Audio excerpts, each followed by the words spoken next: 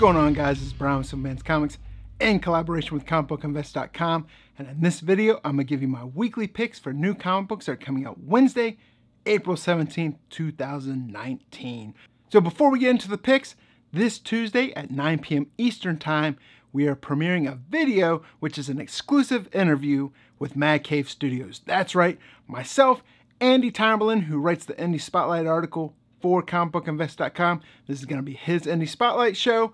Jack DeMeo, aka Mr. Bolo, and Chris Sanchez from Mad Cave Studios. He is their social and communications manager, premiering live this Tuesday, April 16th at 9 p.m. Eastern Time. If you're watching after that, the video will be available on replay, so definitely check the channel for that video. With that being said, let's head over to the computer and give you my weekly picks.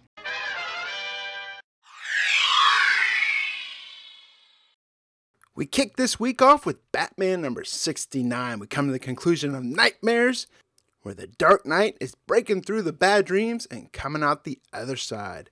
We have a regular cover by Yanick Paquette. We also have a regular price variant by Francesco Mattina. I'm picking up the Mattina variant. Damage number 16. This is the last issue in the series. Captured by the goddess of the monsters, Ethan and Congo Bill must rely on their wits as humans rather than the strength as giant powerhouses in order to survive. But do these men stand a chance against the mother of all colossal beasts? We're gonna find out.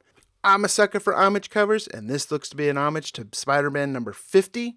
Plus, it's the final issue in the series, so I'm gonna pick this up. Justice League number 22. In this issue, the final form of Perpetua takes her shape, and the DCU's never gonna be the same again. We have a regular cover by Francis Manapul. There's also a regular price variant by Leinil Francis Yu. Naomi number four. In this issue, she discovers the secret behind her birth, her adoption, and her connection to the great multiverse. Combine that with the writing of Brian Michael Bendis, the teasing of DC Comics of the involvement of this character, plus FOMO running rampant among speculators in the comic book hobby, has this book sold out at a lot of places online. So pick it up if you see it. Nightwing number 59. There's a new team in town who will have to learn the hard way that fighting injustice doesn't mean you're cut out to be a superhero, as the newly formed Nightwings are forced to deal with a fiery threat they never saw coming. We have a regular cover by Chris Mooneyham. There's also a regular price variant by Yasmin Putri. Teen Titans number 29. This brings us to part 3 of the Terminus agenda. After the last mission nearly ended in disaster, Teen Titans are coming apart at the seams, and Deathstroke's influence over Damian reaches new heights. We have a regular cover for this. There's also a regular price variant by Mico Suayan. Little Bird number two. Little Bird's reunited with her mother in a dreamscape where she begins to uncover the twisted roots of her family tree. Free after 30 years of imprisonment, the Axe once again takes the mantle as a leader of the resistance and prepares to wage war against Bishop and his Northern Guard.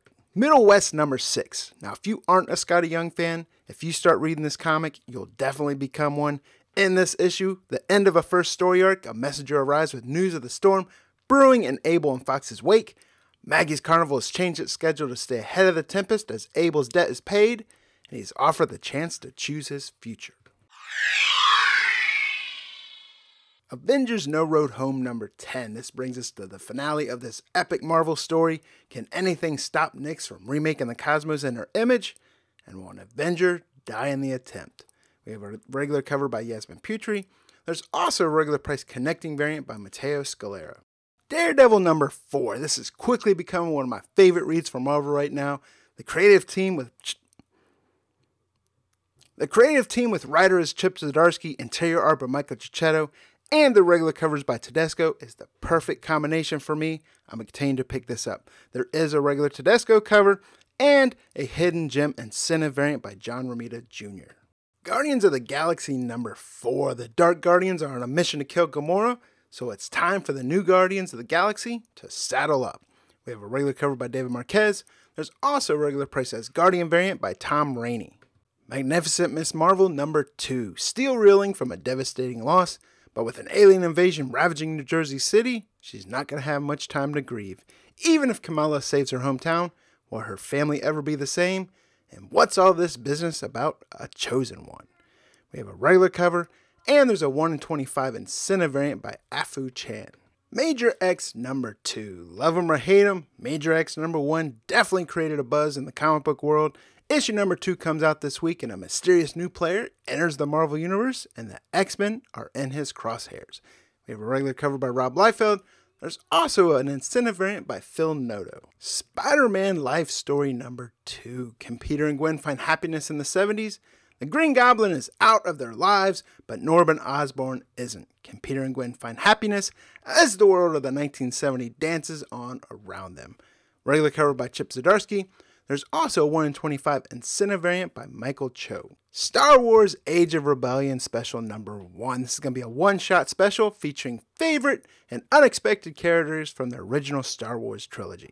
We have a regular cover by Giuseppe Camuncoli, regular price variant by Marco Checchetto, a regular price puzzle variant by Mike McKone, and a regular price greatest moments variant by Jen Bartel. Thor number 12. This is going to be a War of the Realms tie in. Fatherly love is not something which Loki is terribly familiar. Still, you'd think that the Frost Giants invading New York and Malekith's War the Realms, he'd find some quality time to spend with dear old deadly dad. And he will. But it's not in the way that we think. There's regular cover by Mike del Mundo. There's also a regular price variant by Olivier Coipel.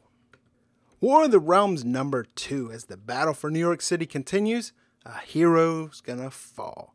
All the heroes of the Marvel Universe have assembled, yet still might not be enough to stop Malekith's endless war, and the one hero who could turn the tide is stranded where no one can reach him. There's gonna have seven different covers for it. There's a regular Arthur Adams cover, regular priced variant by Giuseppe Camuncoli, there's a regular priced David Lopez International variant, regular price Javier Garrón Young Guns variant, a 1 in 25 incentive Victor Hugo variant, a 1 in 50 Tedesco variant, and an incentive Arthur Adams black and white variant. Planet of the Nerds number 1. This comes from Ahoy Comics. Three high school jocks in the 80s are accidentally frozen by an experimental cryogenics device, only to be revived in the computer driven superhero movie loving world of 2019. An era ruled by nerds. Knights of the Golden Sun number 6. This comes from Mad Cave Studios. Ishbal reveals information about the source of the Golden Sun and its importance. With that information, Michael and Gabrielle set off to find Raphael and Uriel. Also releasing this week is the second print of Knights of the Golden Sun number 1. Unable to get your hands on the first print? Definitely pick up the second print, brand new cover. I love when publishers do that instead of repurposing the same cover from the first printing. So definitely pick this up if you can. So there it is, guys. Those are my picks for new comic books. They're coming out Wednesday, April 17th, 2019. If you noticed, I didn't have a pick of the week this week. There wasn't one book that I thought was my pick of the week. If I had to choose one, I'm really excited about Daredevil. So that's the book that I would say is my pick of the week. But question of the day what is your favorite comic book in your collection? Doesn't have to be the most valuable, just what is your favorite book and why? Put that down in the comments. Also, there's a book that you're excited about this week that I didn't have in my weekly picks, comment down below because I love to hear what everyone else is reading. This is Brian with Simple Comics and collaboration with comicbookinvest.com. I'll see you guys next week.